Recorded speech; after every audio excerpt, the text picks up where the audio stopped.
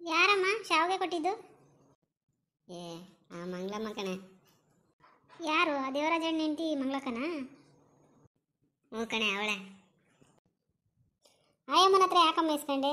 ಕೊಟ್ಟಿರೋ ಶಾವಿಗೆ ಊರು ತುಂಬ ಹಾಕೋತಾಳ ಅಯ್ಯಮ್ಮ. ನಾನು ಯಾಕೆ ಅವಳ ಹತ್ರ ಇಸ್ಕೊಂಡ್ಲಿ? ನನಗೇನಂತ ದರ್ದು? ಅವಳೇ ಹೊಸರಾಗಿ ಇಟ್ಟಿಸ್ಕೊಂಡಿದ್ಲಲ್ಲ? ವಾಪಸ್ ಕೊಡಬೇಕಾದ್ರೆ ಖಾಲಿ ಬಟ್ಲೆ ಏನು ಅಂತ ಕೊಟ್ಟವಳಷ್ಟೇ. ಅದು ಸರಿ ಇವಾಗ ಸ್ಪೆಷಲ್ಲು ಶಾವಿಗೆ ಮಾಡಿರೋದು? ಮುತ್ತಕ್ಕ ಅಂತ ಕಣೆ. ಶಾವಿಗೆ ಮಾಡಿದ ಕಡಿಮೆ ಖರ್ಚು. ಅದನ್ನೇ ಮಾಡ್ತೀನಿ ತಿಂದು ತೊಲಗ್ಲಿ ಅಂದು. ಹೌದಾ? ಅವಳಿಗೇನಂತ ಬಂದಿರೋದು? ಪಾಪ ಮುದ್ದಕ್ಕ ಇವಳು ಹೋದಾಗೆಲ್ಲ ಬರೀ ಕೋಳಿ ಬಾಡೆ ಮಾಡಾಕ್ತಾಳೆ. ಅದಕ್ಕೆ ವಾರ ವಾರನೂ ಅಲ್ಲೇ ಹೋಗಿ ಕುತ್ಕೊಂತಾಳೆ. ಹೋಗದೆ ಬಿಟ್ಟಾಳ. ಬಿಟ್ಟಾಗ ಸಿಗುತ್ತೆ ಅಂದ್ರೆ ಬುಡಕ್ಕನ ಅಂತಾಳೆ ಪಾಪ ಆ ದೇವರಾಜಣ್ಣ ಊರಲ್ಲಿ ಹೆಂಗ್ ನಕ್ಕಂಡ್ ನಕ್ಕಂಡಿದ್ದ? ಇವಳು ಆಟಕ್ಕೆ ಊರಾಚೆ ಹೋಗಿ ಅಂಗಡಿ ಮನೆ ಮಾಡ್ಕೊಂಡವನೆ. ಅವನ್ ಗೇದು ಗೇದು ತಂದು ಇವಳು ಎದೆ ಮೇಲೆ ಸುರಿತಾನೆ. ಆದ್ರೆ ಇವಳು ಅವನ ಮೇಲೆ ಅನುಮಾನ ಪಡ್ತಾಳೆ. ಏನಂತಾನಮ್ಮ?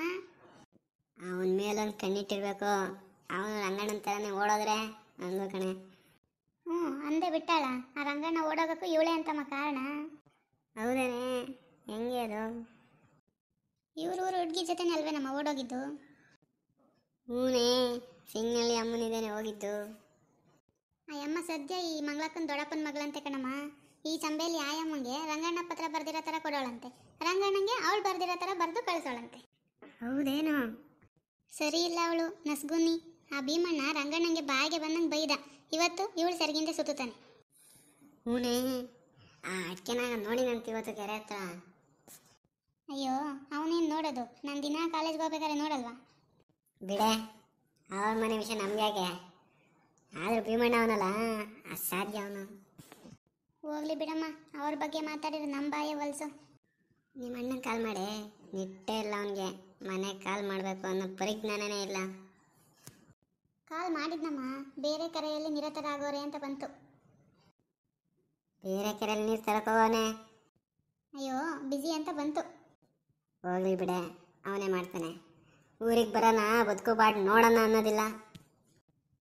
ಇಲ್ಲಿಗೆ ಬಂದು ಏನು ಮಾಡ್ತಂತಾರ ಅದು ಸರಿನೇ. ಟೈಮ್ ಎಷ್ಟಾಯ್ತು? ಆರು ಐವತ್ತು. ಗೊತ್ತಾಗೈತೆ. ಇರು ಗೀತಮ್ಮನ ಮನೆಗೆ ಹೋಗಿ ಬರ್ತೀನಿ. ಯಾಕಮ್ಮ? ಭಾಗ್ಯಲಕ್ಷ್ಮಿ ಬರಲ್ವೇನೆ? ನಮ್ಮನೇಲೆ ನೋಡಮ್ಮ. ಅಯ್ಯ ಸುಮ್ಮನಿರೆ ಕರೆಂಟ್ ಚಾರ್ಜ್ ಏನು ಹುಸಿ ಬರುತ್ತಾ? ಅಯ್ಯ ನಮ್ಮಮ್ಮ ಊರವ್ರನ್ನ ಬೈಕೊಳ್ಳೋದು ಬಿಡಲ್ಲ? ಊರವ್ರು ನಮ್ಮಮ್ಮನ ಬೈಕೊಳ್ಳೋದು ಬಿಡಲ್ಲ. ನಾನಂತೂ ಅದ್ರ ಗೋಜಿಗೆ ಹೋಗಲ್ಲ.